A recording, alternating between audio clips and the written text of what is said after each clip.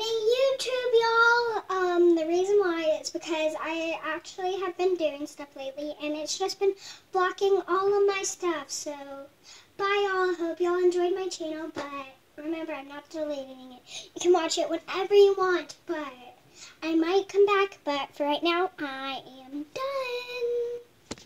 Y'all just keep y'all updated. Please subscribe still, even though I'm not going to be posting because maybe I'll get a play button before I even knew I had this many subscribers. So please subscribe.